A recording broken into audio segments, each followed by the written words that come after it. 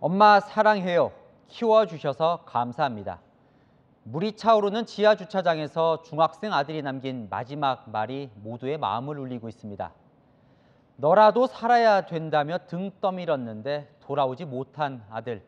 이 동갑내기 아이를 둔 부모 입장에서 그 마음을 가늠조차 할 수 없는데요. 이제 추석입니다. 아, 포항 모자가 나눈 절절한 이야기 부모님 가족들 만나면 어, 꼭 서로 전했으면 합니다. 마침표 찍겠습니다. 사랑합니다. 감사합니다. 뉴스에 마칩니다. 감사합니다.